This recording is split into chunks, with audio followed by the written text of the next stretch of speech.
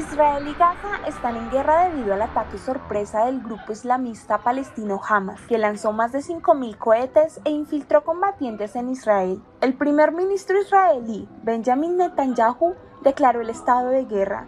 Israel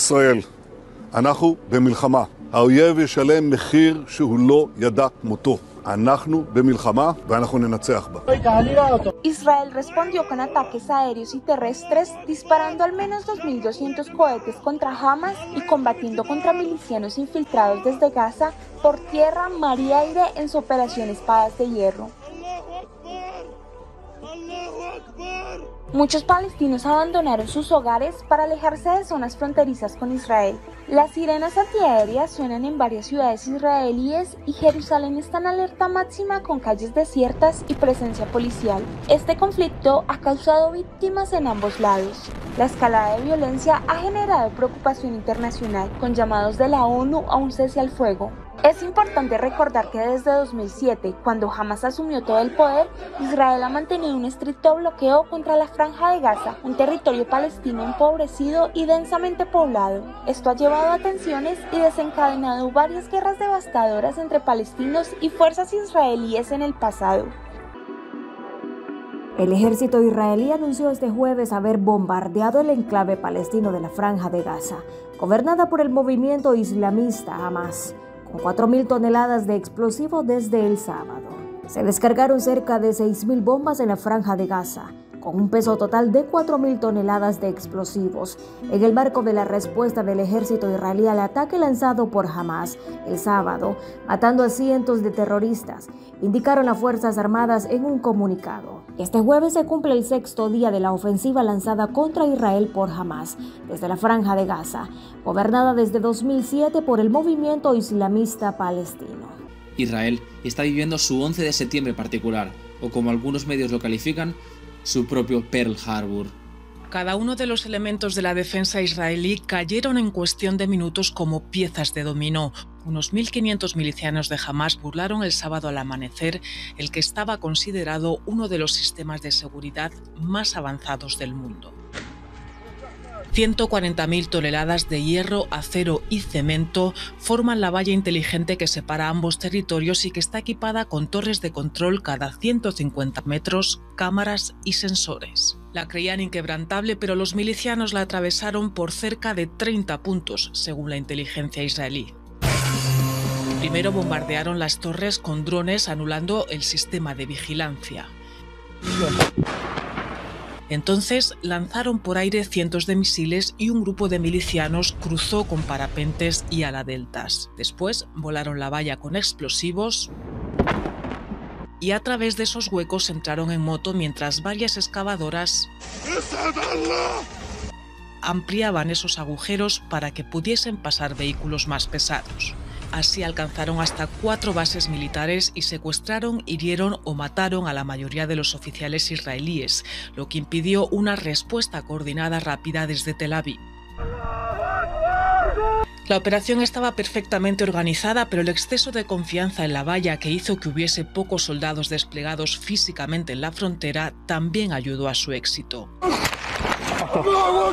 Israel asegura que abrirá una investigación para saber cómo jamás, muy inferior militarmente a ellos, consiguió lo que parecía imposible. Soldados israelíes liberaron el kibbutz Kfar Asa tras ataques de Hamas, descubriendo una escena desgarradora. Cientos de cuerpos, incluyendo bebés, entre casas quemadas y vehículos incendiados. La imagen más impactante fue la del hallazgo de 40 bebés y niños ejecutados, algunos decapitados. Las fuerzas de defensa de Israel llevaron a periodistas extranjeros a una de las áreas más afectadas por los ataques del pasado sábado. El general Itai Beruf dijo, esto no es una guerra, es una masacre. Israel respondió bombardeando la franja de Gaza, pero también movilizó a 300 reservistas y desplegó a decenas de miles de soldados en torno al enclave, en la frontera norte con Líbano, donde el miércoles volvió a cruzar fuego con el movimiento pro-iraní Hezbollah, aliado de Hamas. En Gaza al menos 1.200 personas murieron y 5.600 resultaron heridas en los bombardeos israelíes hasta el momento, según el Ministerio Palestino de Salud. La ONU reveló el jueves que 338.934 personas han sido desplazadas en la franja de Gaza en medio de los bombardeos israelíes.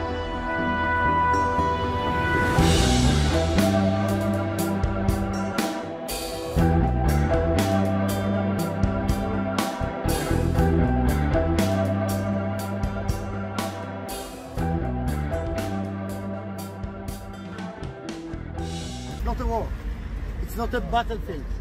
You see the babies, the mother, the fathers in their bedrooms, in their protection rooms, and how the terrorists kill them. It's not a war. It's not a battlefield. It's a massacre. It's a terror act activity.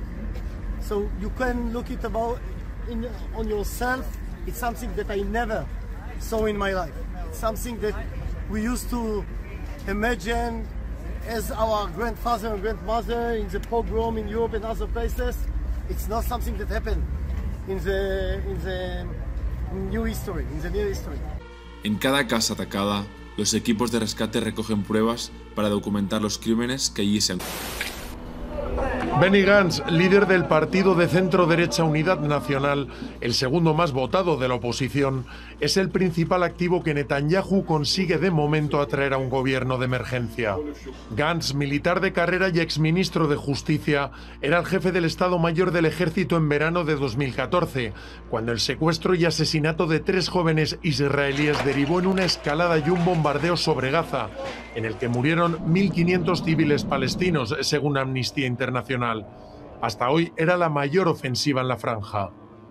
Poco antes de los ataques de Hamas el pasado fin de semana, Gantz había exigido la dimisión de Netanyahu por sus causas judiciales.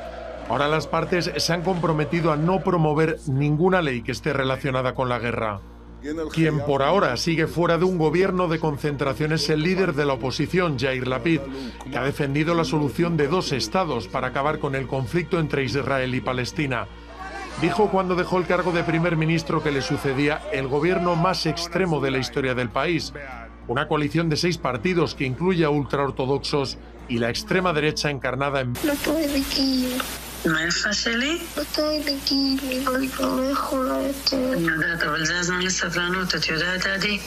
רעות קרפ הייתה בשבת ביהוד, על הקו מנסה להרגיע את בתה דריה בת העשר, שהתחבאה יחד עם לביא, אחיה הקטן, בממ"ד בקיבוץ רעים. לפחות יש לך מים בממ"ד. וגם לביא איתך, את לא לבד. דריה ולוי היו בסוף שבוע ברעים אצל בעלה לשעבר של רעות, דביר קרפ ובת זוגו סתיו.